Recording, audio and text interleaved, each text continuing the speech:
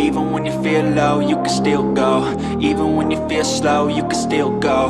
Even when there's no hope, you can still go. I never answer to no, man, I still go. Go, go, go, go, go, go. Nagbabalik po ang Batang Pista para magbigay ng mga tips at giya para sa pakarera ng Metro Manila Turf Club ngayong araw ng linggo, February 19, 2023, kung saan meron po tayong walong pakarera na magsisimula sa ganap na alas 3 ng hapon. Tara, tumpisahan na po natin.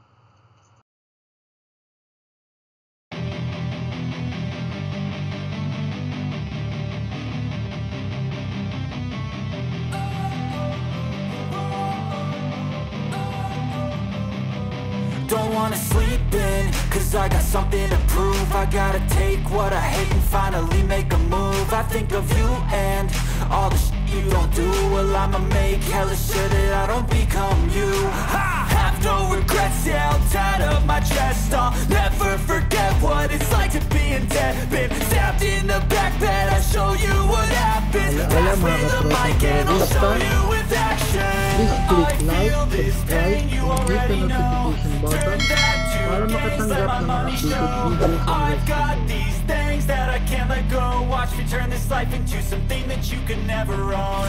I feel this pain, you already know. Turn that to gains, let my money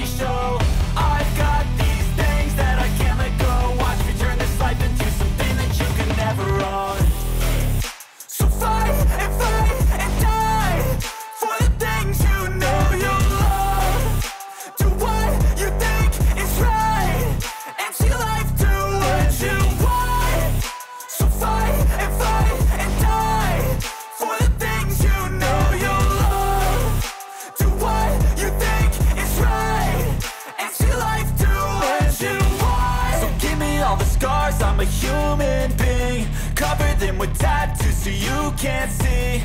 Knew it from the start, you had problems with me. And the things I could be, I just wish I had seen. I feel this pain, you already know. Please click Turn like, that to subscribe, and let hit my the money notification show. button I've got para these makatanggap things that ng I can't let updated go Watch me turn this life into something that you can never own.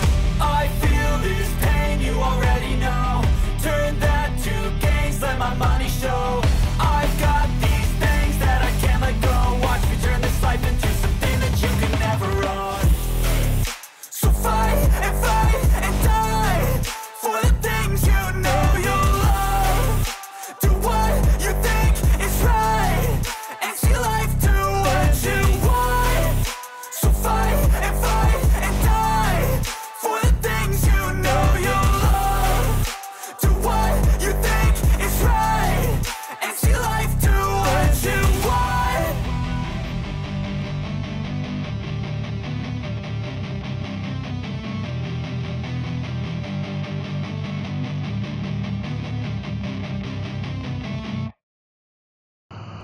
Our next racing schedule will be on February 22, 2023, Wednesday.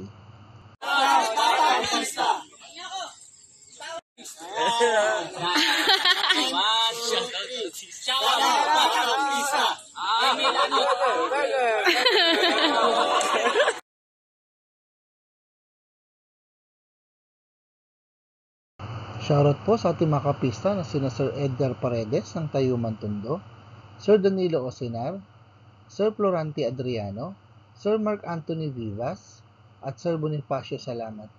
Maraming salamat din po sa ating mga bagong subscribers at mga kapista. Sa mga nais po makatanggap ng updated results and dividends at mga sa karera, please like, share, and subscribe sa ating Batang Pista channel. Click the notification bell para makareceive ng mga bagong videos. Sana ay matupad po ang ating mga giya ngayong araw na ito at muli po natin pinapaalala na pagdating sa takilya, ang sariling desisyon at diskarte nyo lamang po ang dapat masunod. Good luck and happy racing to all.